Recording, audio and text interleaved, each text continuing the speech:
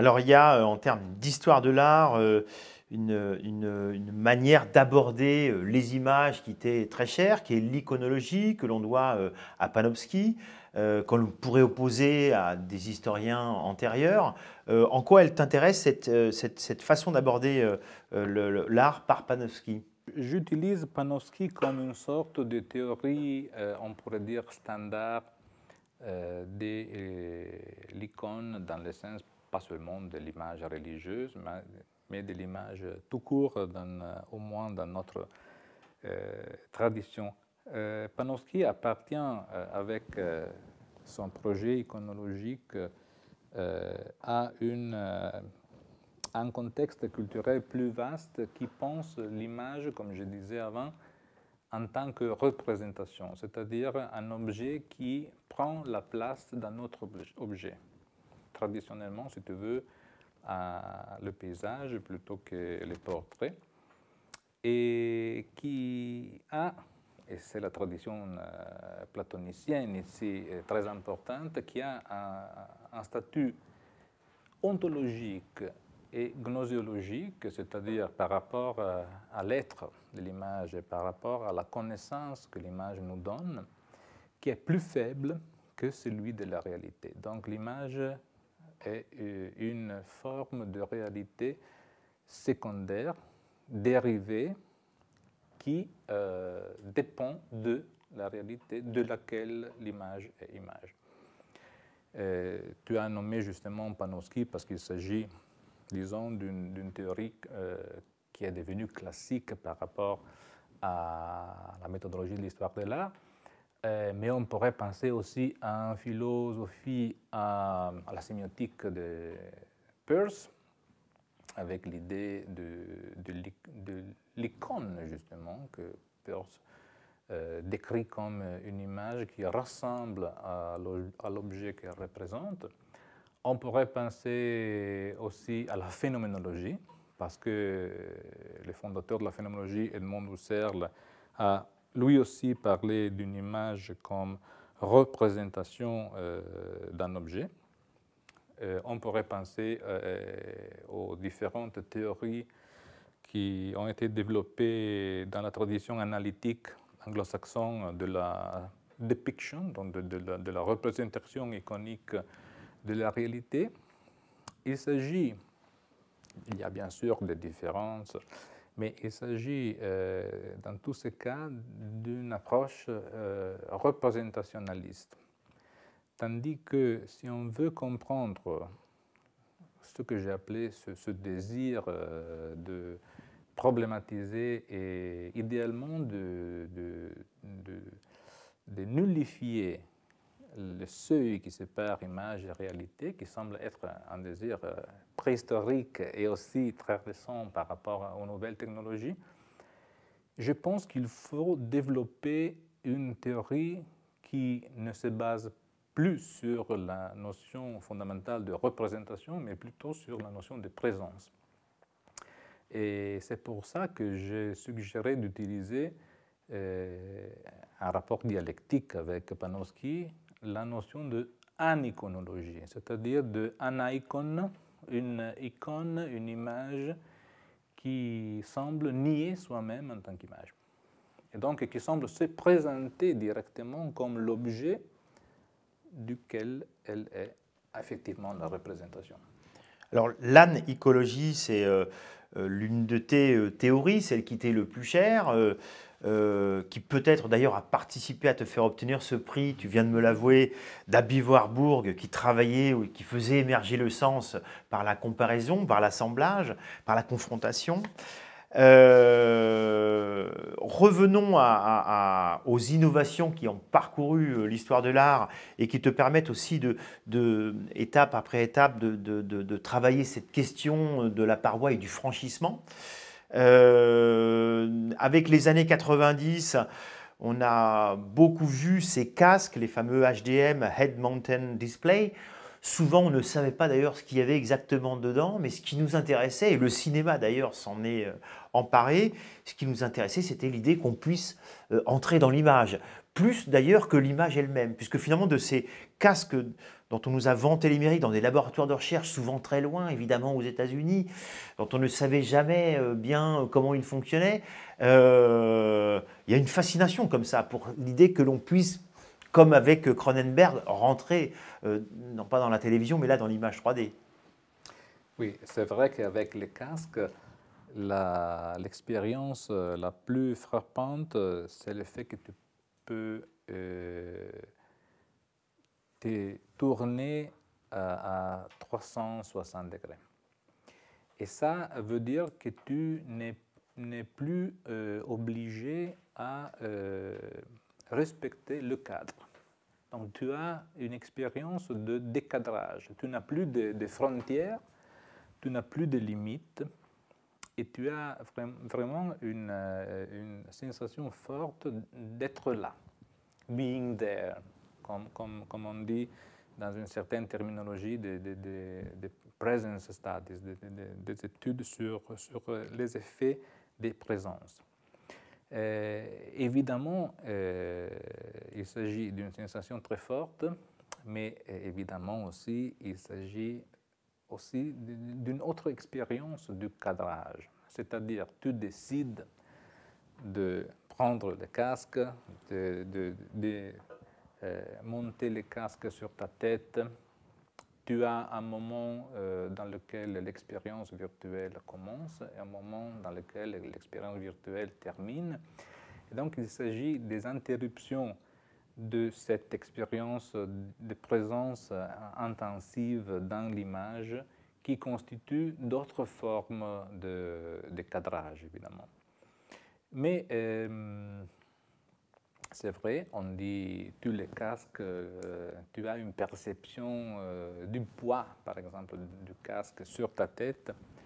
Mais si tu regardes des séries de, de télévision comme par exemple Black Mirror, et si tu réfléchis sur le fait que ces nouvelles technologies ont un développement très rapide, aussi en direction, pas seulement d'une, euh, du fait que le prix devient de plus en plus moins cher, euh, mais aussi que ces dispositifs deviennent de plus en plus légers, euh, sans câble, Wi-Fi, et avec le, le développement de nanotechnologies, on pourrait penser très tôt qu'on euh, ne montera plus les casques sur sa tête, les wearable euh, headsets, mais plutôt il y aura une implantation de, euh, biotechnologique de ces dispositifs, comme certains épisodes de Black Mirror montrent. ici, c'est aussi pour cette raison que je pense que tout en considérant le fait qu'on va passer de plus en plus notre temps devant un écran et on le passera de plus en plus avec un casque. Euh, aussi les social networks, euh, euh, Facebook sont en train de développer des versions pour les casques de réalité virtuelle. C'est pour ça que je pense qu'en iconologie, il y a besoin dans l'iconologie dans le sens qu'il y a besoin d'une réflexion critique sur euh, euh, expérience euh, pareille de, de, intense et expérience continuée avec, avec une dimension d'immersion dans, dans l'image. Aujourd'hui, tu sais, on parle de touchscreen natives, c'est-à-dire d'enfants qui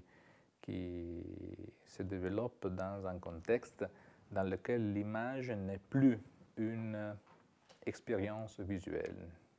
principalement visuelle, n'est plus une expérience principalement optique, mais si l'image ne se modifie pas sous l'action de tes doigts, et donc une image haptique, une image tactile, il ne s'agit pas vraiment d'une image pour, pour, euh, pour euh, ces sujets-là. Et ici, on voit aussi une puissance prophétique, encore une fois, euh, du philosophe Walter Benjamin, parce que déjà pendant les années 30, il avait décrit euh, la transformation des médias, la photo, du cinéma, en termes de tactilisation de l'image, donc en termes d'une image qui s'offre à une manipulation. Si, s'il avait, euh, s'il aurait pu voir les dispositifs récents, je pense qu'il serait, qu'il serait vraiment euh, fou et d'une certaine, façon enthousiaste pour cette possibilité de, d'interaction euh, avec les images. Mais je pense que dans quelques années, euh, on pourra parler d'une immersive native, donc d'un natif immersif qui aura un rapport on pourrait dire naturel, naturalisé, si tu veux, donc une seconde nature euh, par rapport aux environnements immersifs. Je, préfère parler d'environnement plutôt que d'image immersive pour les raisons qu'on a, mentionnées avant. Et l'industrie qui évidemment s'engouffre euh, dans toutes ces technologies, c'est celle du jeu vidéo.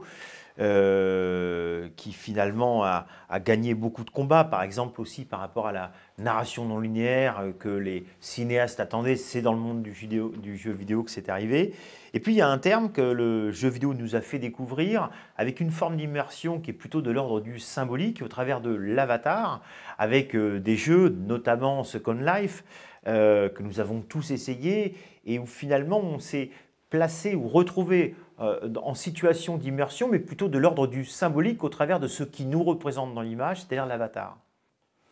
Oui, l'avatar, euh, c'est un phénomène très, intéressant que nous avons découvert grâce euh, au, jeu